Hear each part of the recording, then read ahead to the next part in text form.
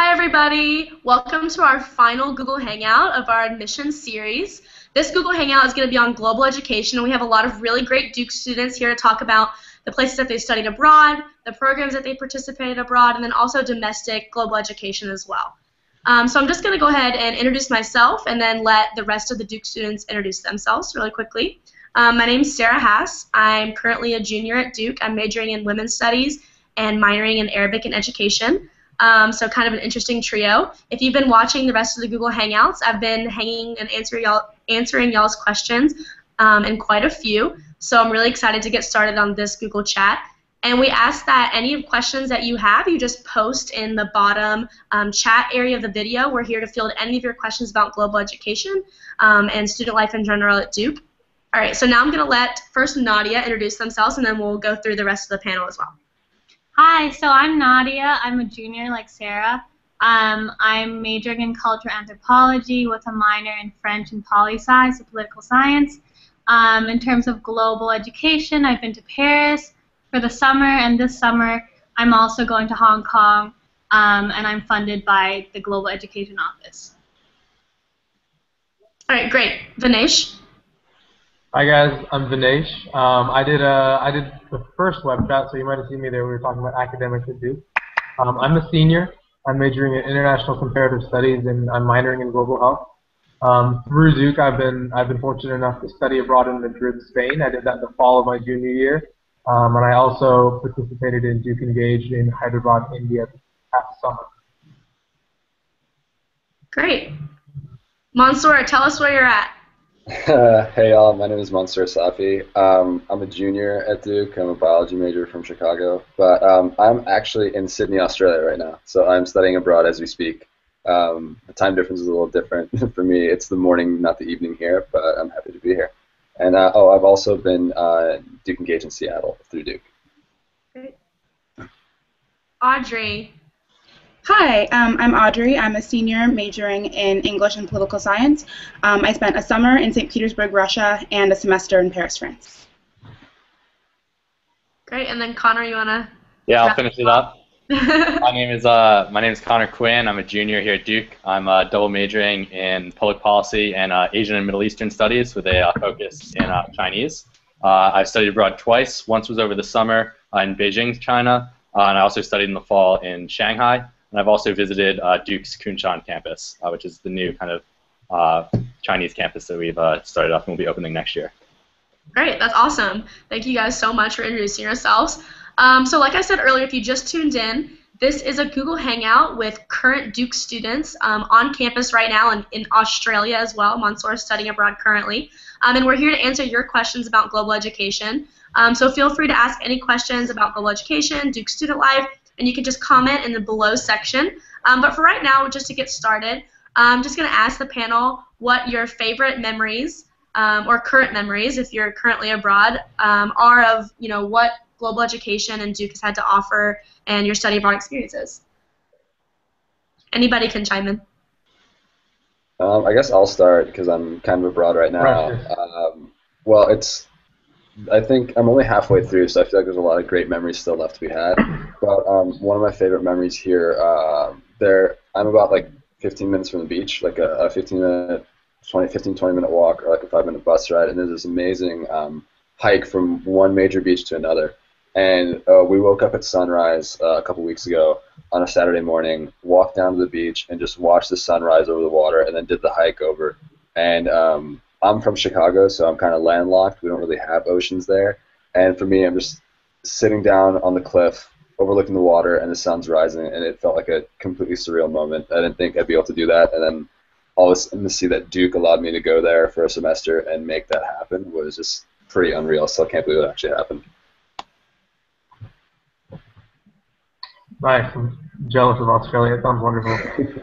um, so I was in, like I said, I was in Spain uh, my junior year, um, and I guess my one of my favorite memories is more um, is more of a prolonged memory. Um, and so throughout my semester, I would I would go to this this sort of coffee shop down the street, um, and it was right between um, some really really prominent, some really really famous museums in Madrid, um, which is you know it's a beautiful location. There's lots of really really nice art around you. Um, but I remember walking in one time um, and sitting down, and before I got to order, the guy, because he had seen me studying there so many times, came over with my order and, and laid it down for me, and we started talking. And I kind of, it was at that moment that I kind of realized that I was, I was actually living in, I was living abroad. I was in Spain, um, and I was, I was a madrileño just like everybody else, and that was a really cool moment um, to realize that Duke had afforded me that opportunity to, um, to live elsewhere um, that I wouldn't have otherwise lived. Yeah, definitely. Connor, what about you being in China? Yeah, no, definitely. Obviously, uh, being in China is a little bit different uh, than being uh, being a lot of other places. But for me, I think my overall favorite experience uh, was just kind of recognizing at the end, uh, right before I was about to leave, just like kind of how much I had learned and how much I had grown uh, within my experience. the first time I was in China, I did an immersive language program. So once we got off the plane, we were actually only allowed to speak Chinese for the two months that I was there, and that was just a really cool experience. By the end of that uh, to really realize how much I'd grown. Uh, we'd gone out. Uh, I ended up making a number of friends uh, on a, on, a, like intramural basketball team on the Chinese campus that I was at. Uh, and one night we got we all went uh, after one of our games went out together. and I was I felt like I was kind of at Duke that I could have been you know playing in, in Wilson and gone out with these guys as my friends, which was just kind of shown how much I had grown in my language skills, especially at that point, and that I was able to kind of really kind of fully immerse myself in that culture and feel that feel that I wasn't an outsider anymore, which is uh, which is a really unique experience. Considering you know when I got off the plane, I definitely I definitely felt like I was an outsider at that point, and, and after just two months, how much I had kind of grown within that. Um, I'd say my favorite experience probably studying abroad in Russia. Um,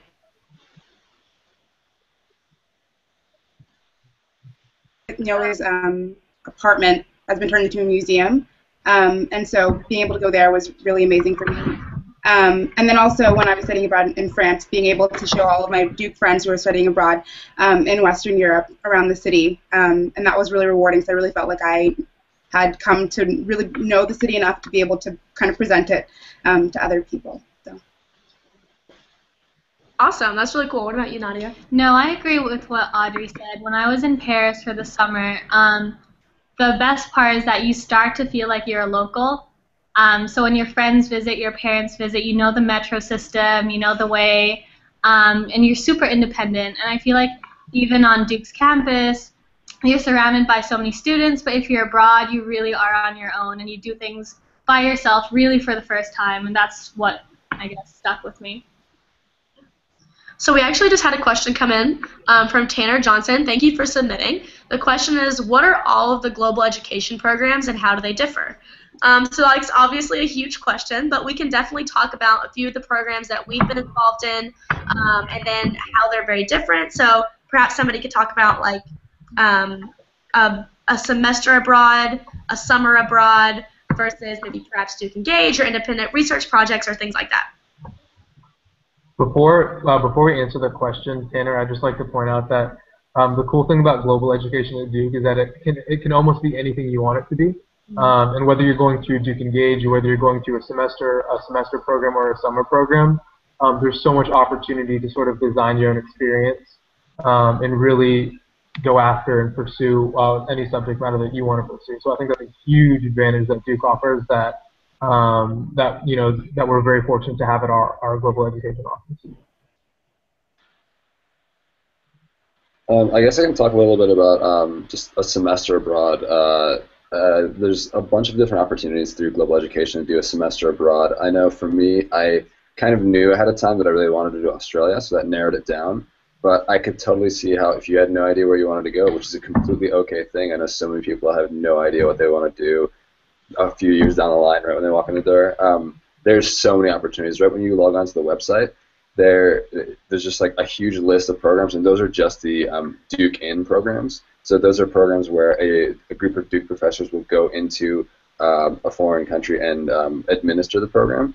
Then there's also the opportunity to do uh, Duke approved programs, which is what I'm doing. So I'm directly enrolled in the university here. It's the University of New South Wales.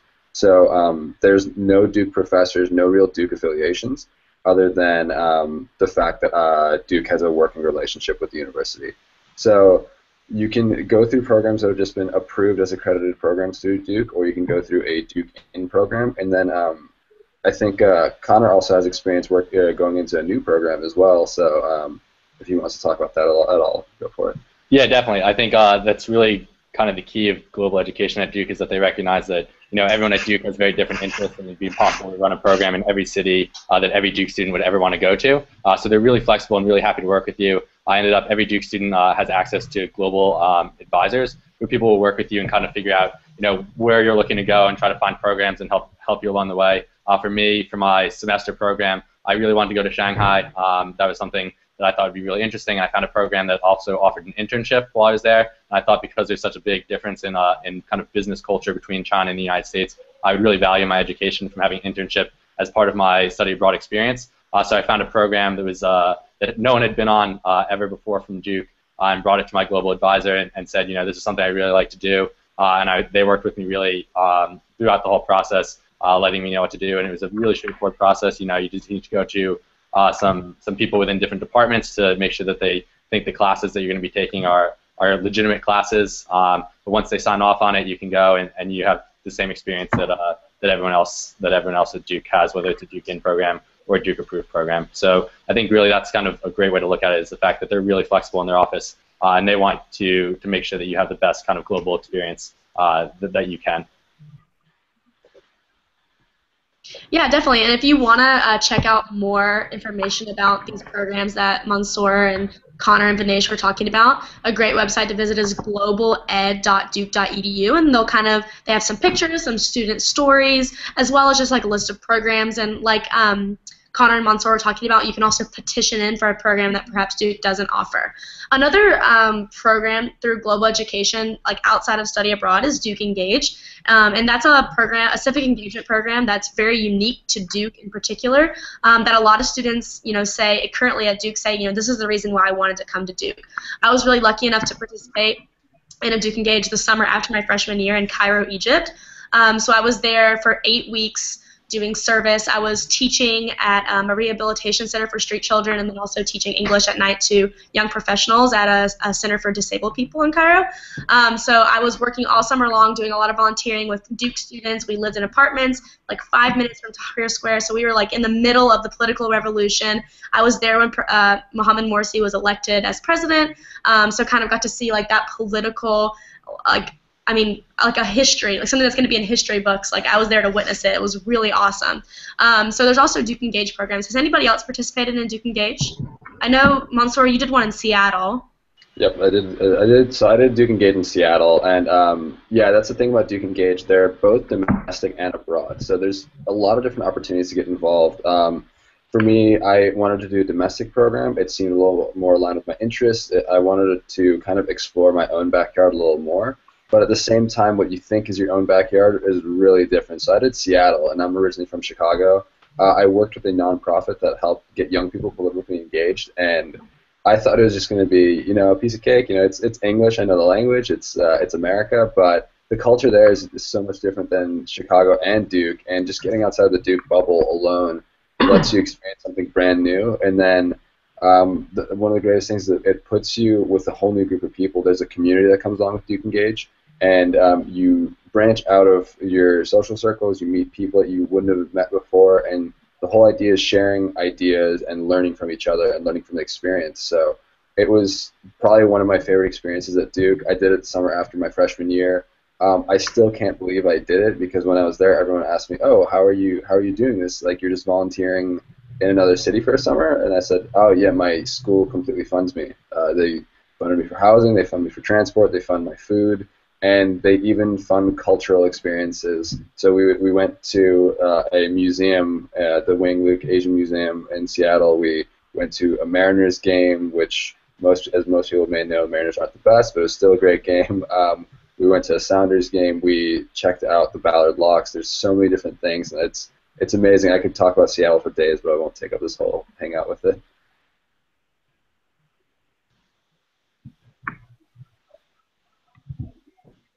Okay, great. Well, we actually have another question that came in, so I'll go ahead and address that. I know we don't have any engineers, but I hope that we'll be able to speak to this experience.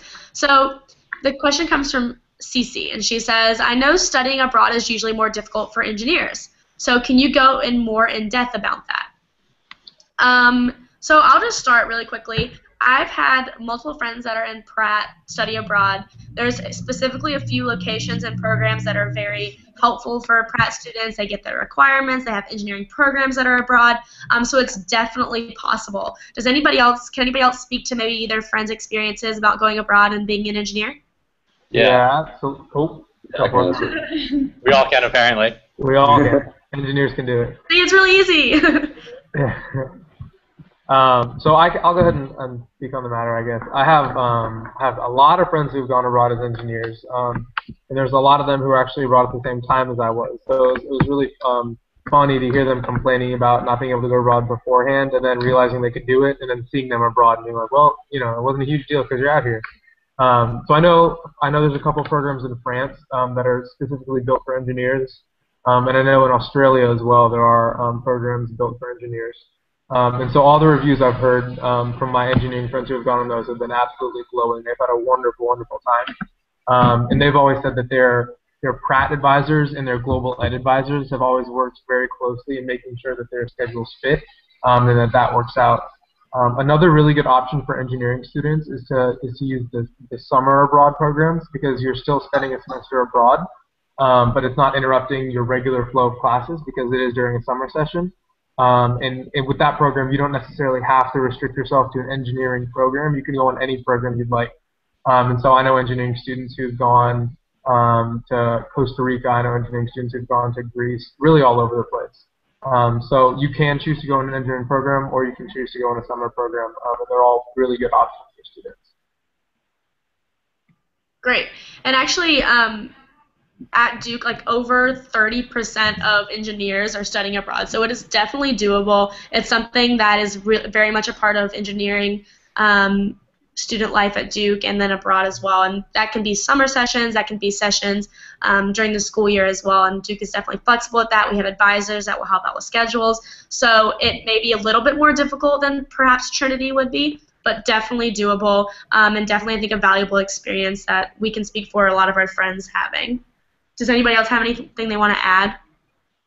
Yeah, um, they're actually expanding even more. Um, so uh, a couple years ago, uh, they used to say if you're an engineer, you can only go to a few locations. I know Metz, France is one of them. Sydney was a big one as well. But um, just this past semester, I know someone else that went to New Zealand. Um, uh, and then I have a couple friends that are planning on going to New Zealand in the fall, and they just opened up engineering in Madrid, Spain as well.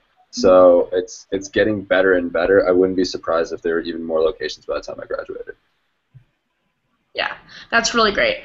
Um, so another question that I have for people, because this was something that was on my mind when I was thinking about studying abroad, is can you study abroad when you're on financial aid, or perhaps are there programs where you can get funding to study abroad besides Duke Engage, which we talked about, which is full funding for all students, no matter if you're on financial aid or not? Um, I, can, I can yeah, go for go it. ahead, Audrey. okay. Um, well, um, I can speak a little bit to that. Um, so, for example, um, with the Russia program, I got a partial scholarship to go, um, and that was really simple and streamlined for me to apply to that. Um, and also, I wanted to like, if you're worried about financial aid not applying um, and not being able to go abroad during the semester and only having summers, that's absolutely not the case. Um, so for me, actually, it was cheaper for me to spend a semester in France. Um, so I mean, it's absolutely people are very accommodating.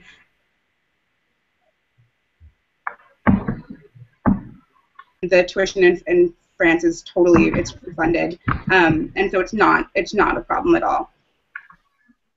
Uh, I'm in the same boat. So I'm actually uh, on financial aid at Duke, and for me, I didn't even have to apply for a scholarship because I apply for financial aid every year um, for the next year. So I just finished my application right now, and um, the way that the global ed office works is they look at how much your study abroad program will cost. They look at how much you receive at Duke, and if it's a similar price, they will give you the same amount of aid.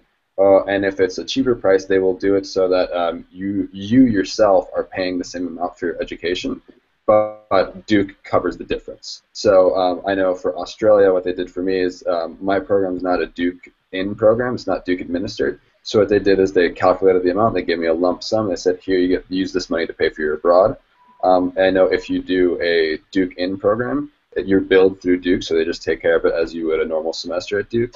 And then um, I know financial aid also covers two summer sessions. For me, I did two summer sessions at the Marine Lab, so I didn't have that option of going abroad. I mean, I had the option, I just used it in other ways, but I know a lot of people that for them they used one of their um, summer sessions to go abroad and financial aid covered um, an equivalent percentage as they would during a semester.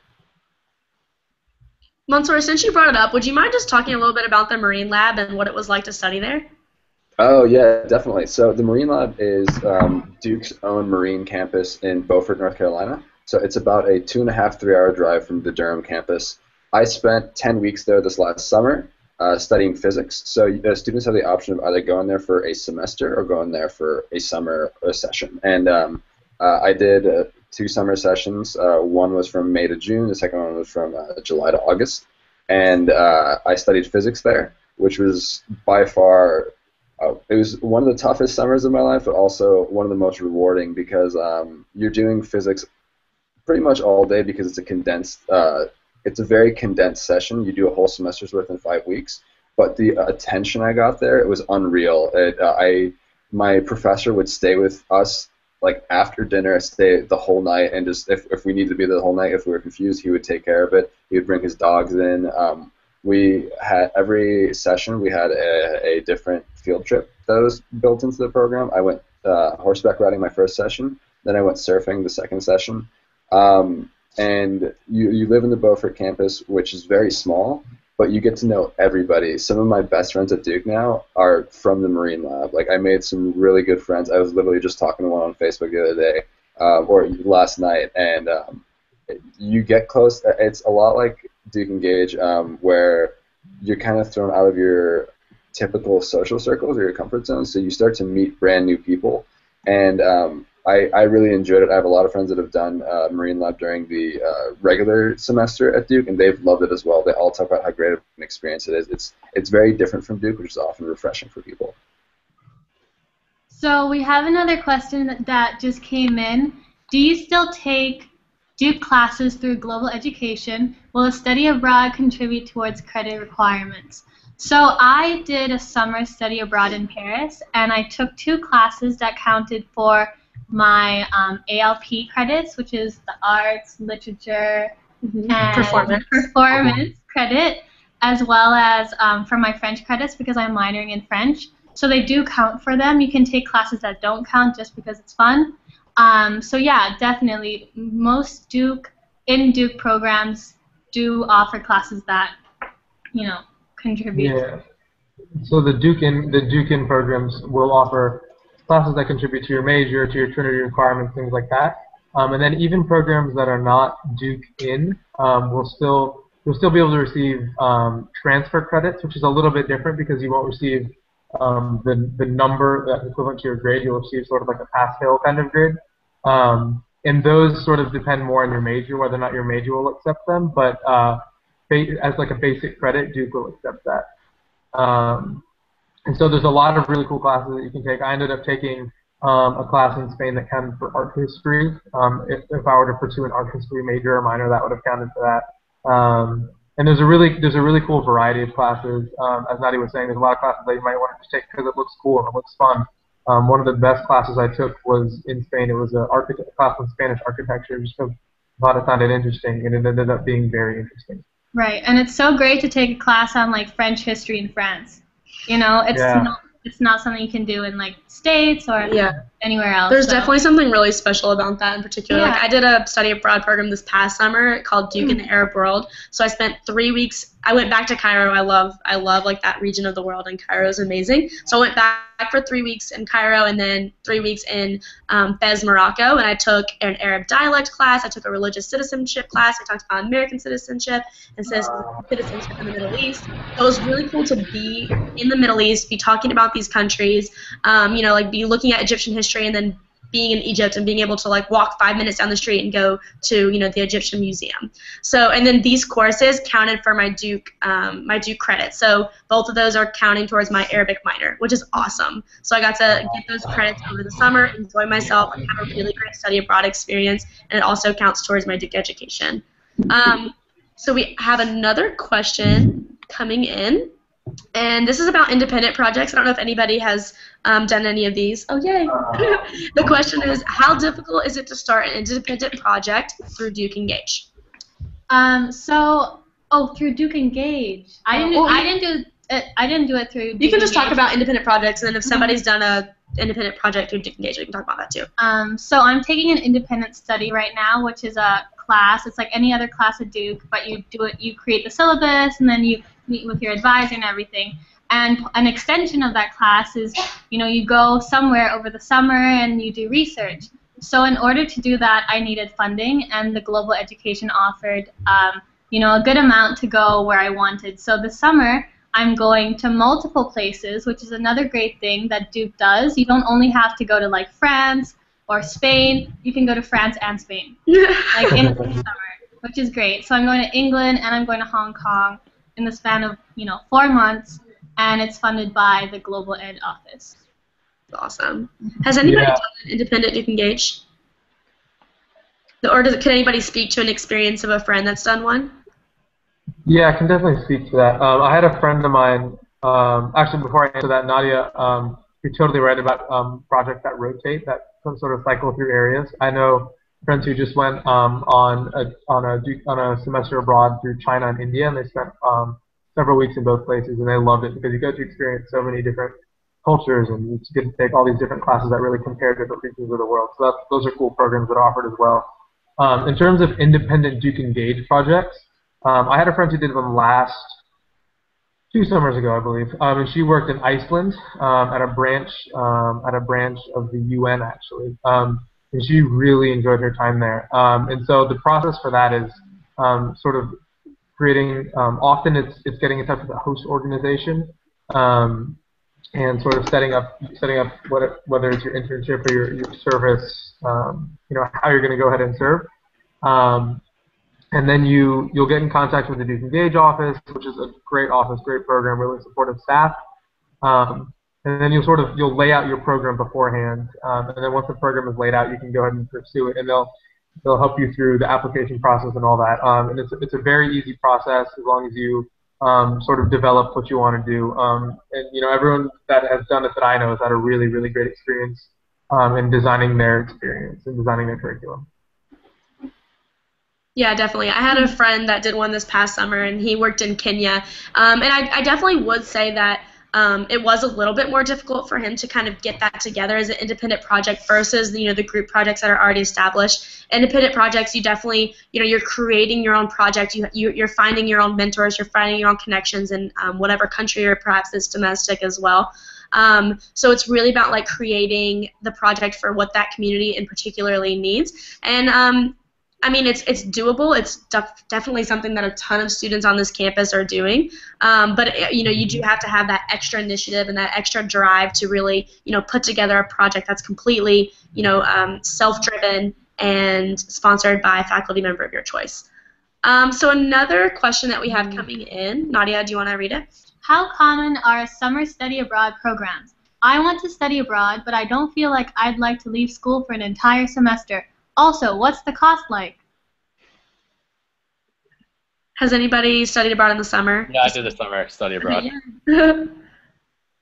Um, yeah, no. So I think it's a pretty common thing to see people do uh, summer study abroad. I did one uh, following the summer of my uh, as, of my first year, between first year and sophomore year, uh, and I think a lot of students end up doing that uh, because it's a good time because uh, you generally you don't have to worry about finding internships or or things like that at that point. So a lot of people find that to be a good summer. Um, I did that. I know a lot of friends have also done it. Um, people generally like it because, like you said, it does give you kind of an experience going abroad. Generally, they're around two months, um, so you get experience going abroad, but you're not gone from Duke campus for, for, for four months or for a full semester um, in other situations. Uh, but I also know a lot of people who came into Duke thinking, uh, you know, I definitely don't want to leave Duke for a semester um, because of all the great opportunities here. But I think a lot of people also realize once they're going through Duke uh, that there's a lot of great opportunities through studying abroad um, as well. And I think a lot of people end up changing their mind and, and end up going for a full semester as well.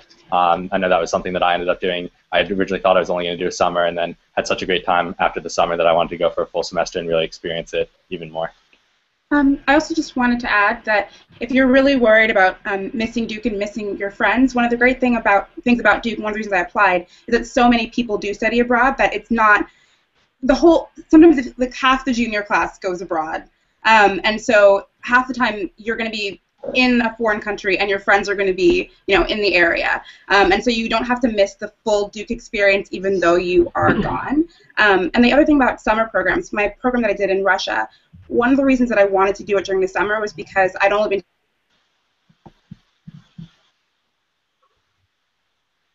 language skills in French were. Um, and so I knew it was a good time to test out, test the waters of my um, of my Russian proficiency while having the safety net of after two months you can go back to speaking English most of the time. That's actually a really good point, Audrey. I, I, that I kind of like a question I want to pose is about language and, and kind of interacting with the communities. Did before you went abroad, did you know the language? How did you study the language, or was that something that you did there? Did you feel like you could get around um, without being proficient, and how did that work? Well, um, when it comes to Russian, um, that's a less commonly taught language, so the language requirements for going abroad um, in Russia are a little bit less stringent than they would be for something like French, which is pretty commonly taught. Um, but at the same time, the classes I was taking, I was taking, I think, six hours of Russian a day. Um, so if I wasn't able to get around within, you know, a few weeks, I would be able to get do the, the basics. Um, but and there's some programs where you don't need to have a language requirement at all. Um, but if you are going abroad with the goal of improving your language skills, there's absolutely no substitute for it. I think I learned I, my French and my Russian improved more in the months that I was abroad um, than it would have in a year um, in the States.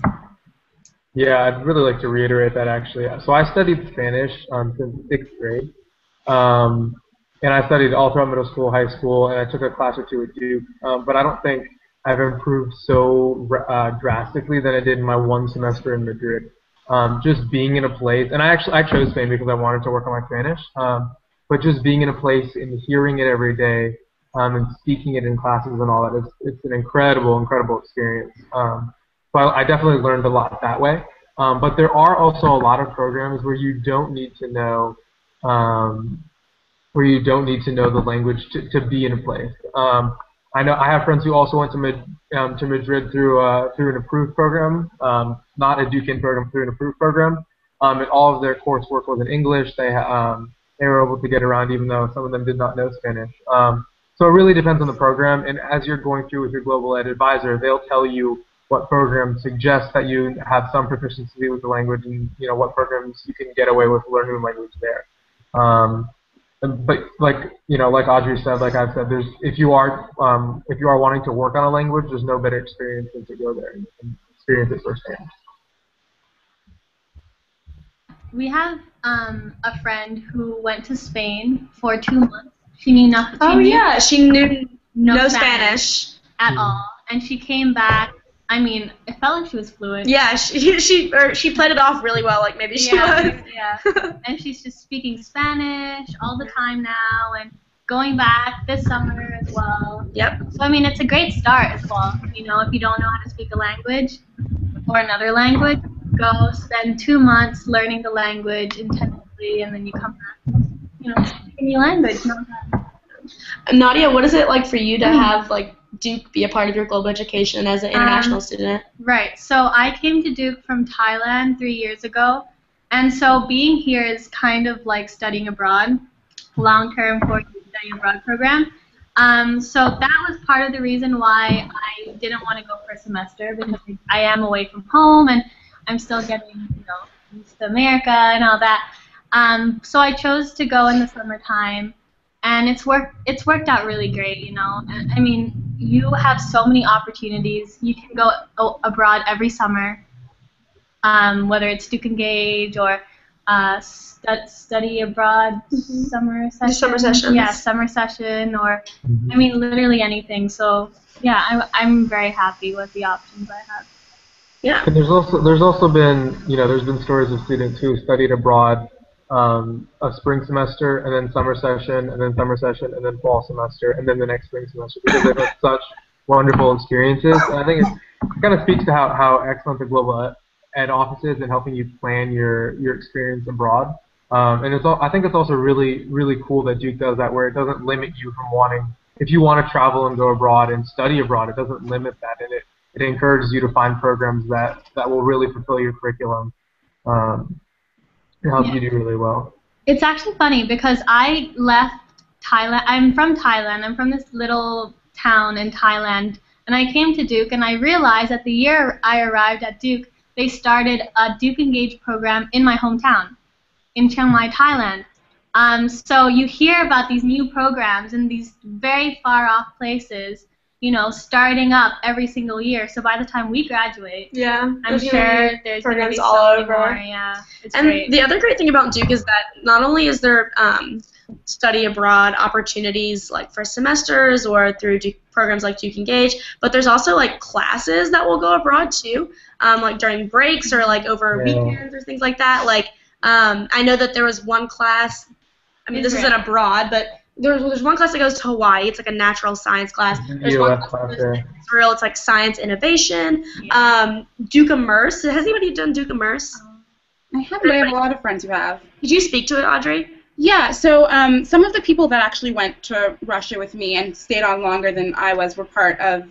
Um, it was a it was a it was a dig program, um, Duke Immerse Global, um, and so that was completely free. And they had um, I think the summer the semester before going abroad, they had like really intensive. This was for was for Russian, um, really intensive Russian classes, um, and then they had you know this kind of fast track experience for like the whole summer um, in Russia, and it was totally funded.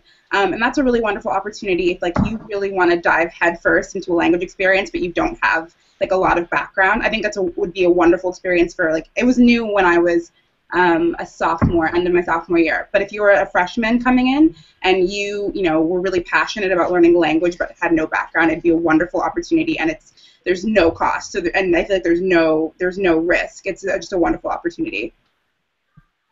Yeah, there's like those immersive language programs, and then there's also um, a another Duke Immerse program where I, um, one's through like Kenan Institute of Ethics. They go to South Africa. There's one that goes to India, Nepal. um, Nepal, yeah, Nepal, and then Jordan, I think. Jordan, yeah. Yeah. South Um, Africa. Do that? yeah, South Africa. And so what this program does is that there's they're offered in both the fall and the spring, but your all of your courses will be a part of this Duke Immerse. So you become like a community, um, and then you share the same classes with these same students. And then for half the course, you're at Duke, and you're you know you're taking classes with Duke professors, and then you travel with those professors to you know this whatever location that corresponds with your project for the other half of the semester. So you know you're spending half the semester here, half the semester abroad. You come back, you know they're writing a lot of like interesting research projects and doing a lot of really really cool things um, things that are based off of different themes. So there's one that's fo- focused on ethics and immigration and uh, refugee rights. There's others that are focused on human rights racial relations. Um, is there i'm trying to think if i'm missing one. No, those are the two big ones that I can think of right now. But um, those are also really great opportunities to um, kind of learn outside of the classroom that Duke offers through different global education programs. Um, so one last question that I have, and, and just to reiterate for anybody that just joined in on the Google chat, is we're current Duke students and we're talking about global education. If you have any questions, feel free to use the chat box below the video and just feel free to ask any questions about you know what it's like to study abroad or um, what kind of global education programs that we offer here at Duke, and we're here to answer your questions. But I just have a question that I want to pose to the panel. Um, when you came to Duke, did you expect to study abroad? And if so, where did you think you were going to go versus like where did you actually go and what were you actually doing? Um, well, I definitely thought I was going to study abroad. It's one of the number one reasons I chose to come here was because I knew it was very common, um, and that told me that it was an, an easier thing to do and that people were facilitating it um, through the school. Um, but I knew I was going to study abroad. But I thought that I thought that I was going to spend a year in France and then sophomore fall in at the Duke in New York program um, because it's one of the programs where um, it has a sort of a, mixture of there's an internship component. Um, it's has you have got English credits for my English major. Um, either that or, Duke in LA. I think that one thing that I really liked was that, for example, like Duke doesn't try to be all things to all people. It recognizes that, for example, you know, Duke Duke isn't in New York. It's not going to have the cultural opportunities that you might want, you know, Broadway plays and that kind of thing. And also, Duke isn't in LA. Um, so if I had wanted to experiment with film school for a semester, I was not going to be able to do that there. But through Duke and with Duke credits, I'd be able to do that at you know USC Film School, I could go study abroad in New York for a semester. And then I thought I was going to spend a whole year in France, which I didn't end up wanting to do. Um, but the one thing that I do want to add, like in case nobody asks, um, is it's you can double major and study abroad if you plan it well enough. Um, and I know a lot of people think, you know, there's no way I'm going to be able to finish on time and then take a, you know, a whole semester or a whole year to run off to a foreign country, but that's not the case. And don't let your academic aspirations or how much you want to do limit you from studying abroad because with global advising, they will figure out a way for you to do it. Um, and I mean, plenty of people double major and go abroad. So that's my spiel. Awesome. What about you, Mansoor? Did you uh, expect to end up in Australia? Yeah, so for me, um, I I knew I was going to go abroad the moment I walked into Duke's campus. I was asking those questions before I even got here. Um, I knew I wanted to go to Australia from the moment I walked here. Uh, I've just been fascinated with the country for years now. Um, I did change which city I ended up going to. I was originally going to go to Melbourne. Now I'm in Sydney. Um, awesome decision for me. I'm really glad I did it. I just I was just in Melbourne two weeks ago. Uh, I had an extended weekend there, so um, I, I knew ahead of time, but I also toyed around with different ideas as the, decision was coming closer. I, I know a lot of people that were choosing different things, and they were tossing up between, oh, do I want to go to this place, or do I want to go um, to this other city that's maybe more aligned with my major? It's uh, the thing about your semester abroad is there's it's more than just what you're studying there. It's also about the location you're going to be in because I think you learn so much more outside the classroom than you do inside the classroom, and I think that goes for Duke as well at times. But um, I, I, for me, I, it just seemed like the best choice. I knew it was the, the city I wanted to be in. It's the Sydney's a booming metropolitan center. It's uh, just a melting pot of cultures, and on top of that, I'm taking more classes towards my major here than I actually would in an average semester at Duke. So it didn't even limit me academically either. So when I add everything together, it seemed like the best choice, but it was definitely a thinking process. And if you have no idea where you want to go, but you know you just want to go abroad, that's completely okay. I actually just recommend exploring, and um, you, I think overall you'll get an experience that's worthwhile regardless of where you go.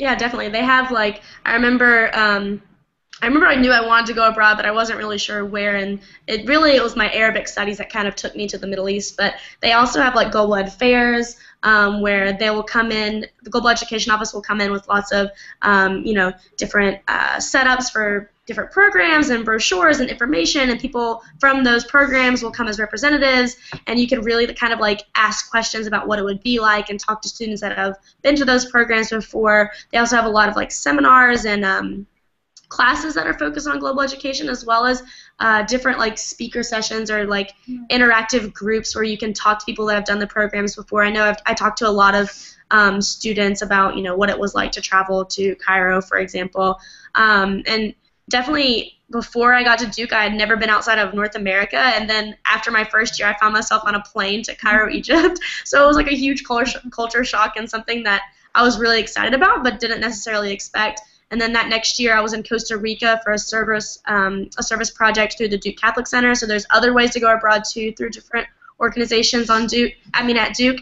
Um, so yeah, I've I've been to like three different countries in three years, um, which is something that I did not expect at all, and all of it was paid for by Duke, which is really awesome. So definitely money is not a pro- um, is not an opt, opt like an obstacle if you're on financial aid or if you want to go through programs like Duke Engage where they right. fully fund all students whether they're on financial aid or not. Right, exactly. So even if you're not on financial aid, you can always apply. I think at the beginning of the semester, mm-hmm. um, there's so many places you can apply to and write write in a good proposal, and they're more than willing to fund you for your summer or for the semester, I think. Well. Yeah, and I mean, there's other um, like there's departments in particular that do a lot of mm-hmm. funding as well. I know the public policy department, for example, has a lot of um, opportunities for global education and, and learning outside of the classroom in the world. There's the Hart Leadership Program and Service Opportunities in Leadership that is a class at Duke, and then you create your own project and then um, kind of like pitch for its funding, and then they'll send you, you know, wherever to, to complete that project, whether it's domestic, international. I've had students go, I mean, I've had friends, students, um, go to Spain. I know somebody that went to I think Portugal through one of um, the Hart Leadership Program, as well as um, somebody that I, knew that went to Egypt. I met them while I was there. Um, so there's definitely ways to get involved with global education outside of just study abroad or Duke Engage, and it's really kind of about finding the program that you want or finding the um, kind of the students or the atmosphere, professor, mentors that you need to get there. Does anybody have any final? I know Vinesh, you said you had a story that you wanted to share. Yeah, um, I want. I guess this um, kind of touches on what you mentioned earlier about the all the like the global ed fairs and all the info sessions that they have about these programs. Um, Mm-hmm. I think one of the really one of the really cool things about um, about Duke about Duke study abroad and Duke summers abroad and things like that is um, you know the the professors and the and the people who organize and lead these programs are really so so plugged into um, they're really you know so plugged into the Duke experience into your experience and making sure that you have as good of a time um, as good of a time abroad as possible. So you know, I, I before I went to Madrid, there's this program, and, you- and you walk in, you sit down, and the the guy who's talking to you about the Madrid program is actually the director of the program. So he's a he's a Romance Studies professor at Duke, and then he also leads the, the program in the fall in Madrid. Um, so I saw him before I left. I went, you know, he was one of my professors the whole semester, um, and then you know I came back back at Duke, normal normal things. And uh, yesterday I was walking out of our library, um, and you know, and I'm, I'm walking, I'm walking, and I see a guy that looks a lot like Marcos from Spain walking, you know, 10 steps ahead of me, and I yell out, Marcos, and he turns around, um, and you know, and it's him. Um, so it, it, it's it's just a really it's a funny thing to see a professor that you know as somebody as somebody um, you know you know as sort of this international professor who's really in touch with Duke and is also a Duke professor. Um, and that was really that moment when I realized that that Duke is really is really global, um, and they really take care of you whether you're abroad, whether you're here, um, and the professors really care about making your experience um, an, an educational one, regardless of where you are.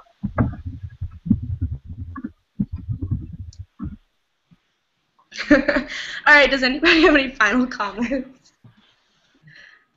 Nadia. Um, well, for me, I feel that your study abroad experience really extends past the, the study abroad program itself. Yeah. So a lot of people, you know, use it for their senior thesis, for example, or you know, continue in the classroom at Duke. So your study abroad experience will always be you um, past Yeah. your time abroad. That's a really, really good point. I mean, a lot of Duke students really own the experience that they have when they're abroad. Um, I mean, Connor, you were talking about earlier how you know you went to China, then you you, you returned. You know, what was it? The next summer, or the next year? Yeah, within uh, yeah, it was the next year that I Yeah. went back. So, and that's the same thing, like exactly like you just said. I'm using my uh, experience abroad. I didn't gather any data or anything when I was abroad, uh, but kind of I was inspired while I was there uh, with my senior thesis topic now that I'm that I'm starting to write um, by just things that I was living there and observing, and, and something that I was kind of I saw that I wanted to research further. So I think that's definitely something uh, that's really good to point out that it, it does stick with you, and uh, a lot of times uh, it's it's the experience that obviously doesn't just just stay with a summer or semester. Yeah. And Audrey, I mean, you had the experience of where you went to two different regions of the world, um, which is is kind of unique compared to the rest of us. Um, yeah, well, um, in terms of it kind of continuing past um, Duke, I mean, I don't have like a, it's not, was not the subject of my thesis or anything, but um, a lot of the political science work that I'm doing in, in Europe, and so I'm writing a paper actually right now um, about um, kind of how European Union politics intersect with kind of the new Russian imperialism with respect to Ukraine. That's something that I would never have thought to, to connect um, before I went abroad in both Russia and the and um, France, where a lot of my classes actually had to do um, with European Union politics. Um, so you never know the connections you're going to make just from studying abroad in different places, um, and from and also it helps that now I can use French sources that I would not have been able to read before. So. Plus, um, another thing that I think uh, is really cool for me right here is uh, I, I've met a lot of Australians, and all of them are talking about doing study abroad themselves in the States. So they're talking about, like, oh, I'm going to come to a school that's really close to you. We should meet up then, or I'm going to come to this school or that school. So I'm not even like halfway through my semester here yet, and we're already planning on what we'll do when we're back in my backyard. Like when I when I get back to Duke, I'm going to explore the states with them and show them some of my favorite things back at home. So it, I feel like a lot of these relationships you make with the people you meet abroad are just really strong. Where I'm already, I, I've met a lot of Americans that I'm already planning on seeing when I get back, and then uh, the Australians. I'm so excited for them to come visit me because they're going to get a taste of America just like I've gotten a taste of Australia. Yeah, the relationships are are so long lasting. Like I know that a lot of them are going to be for life for me. I still talk to a lot of the people that I met when I was in Egypt two summers ago, and then this past summer when I was in Morocco, um, I stayed with the host family, and there was a lot of kids in the house. Um, so I had like two older sisters, and we talk a lot over Facebook. So social media is really great. I get to keep in contact with them, um, and I, I definitely think that the relationships that that we that we made kind of like while we're in college and while we're younger and, and you know pursuing volunteering or different academic things are really long and life lasting. Um, so that's something that's really important too, not just like to pursue academics, but also like relationships and networking too. Um, if you want to go that far with you know the people that you meet when you're abroad. I know, especially when I was in Egypt, the professor I went with had a lot of connections um, to Egypt to Egyptian politics and um, different like Egyptian administration. So I got to meet like a ton of really great people and um, really influential speakers kind of like got to exchange emails and information and things like that. So that's something as well as like that international networking. Um, so we're coming up to the last five minutes of the chat. Thank you everybody who tuned in. I'm just going to give um, just a few minutes to anybody if you have any final comments about global education, any advice that you would give to prospective students, or perhaps just a pitch about you know why they should choose Duke.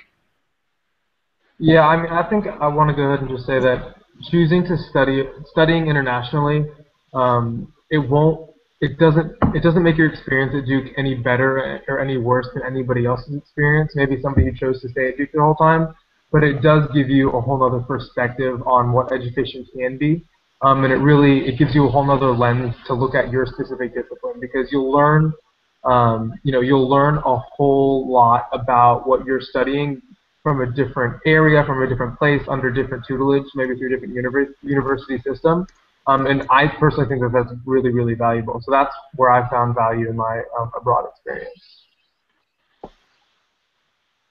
think it's also like really good to point out the fact that like the opportunities at Duke are just tremendous uh, for studying abroad. And I know when I was coming into it, you know, I didn't know exactly what I wanted to do in terms of studying abroad. And I'm sure, kind of watching this and listening to all of us, we've been all over the world.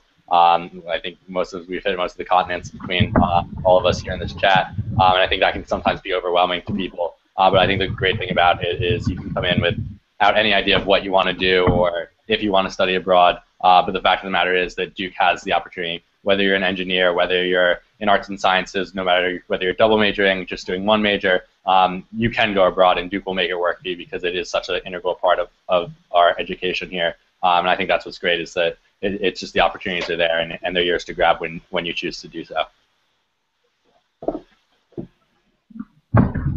Um, I'll just read. That um, when you're looking at schools and you know maybe ahead of time that you do want to study abroad, it's important to go to a school where that's kind of more normal. I have plenty of friends who were equally as intent as I was um, before starting college about going abroad, um, but because it, you know, it wasn't really the culture at their school, and a lot of people didn't go abroad, um, they felt more like, oh, they'd be missing out if they if they didn't take that opportunity, um, and that's you know a kind of a personal choice. But I, I didn't I didn't want to be discouraged from going abroad just because I felt like I would be the only person doing it, and it's you could see the exact opposite, and so it kind of it's an atmosphere that encourages you to take the opportunities that are given to you to make your education a truly global one.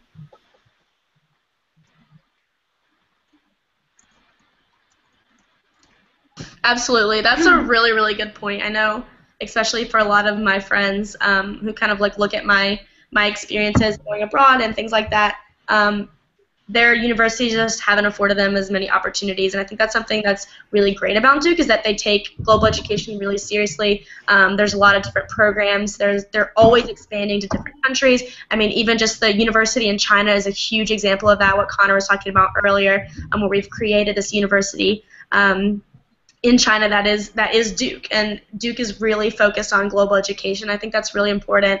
Um, learning outside of the classroom is just as important as learning inside of the classroom, and that's something that Duke really emphasizes, and something that has really shaped my experience personally.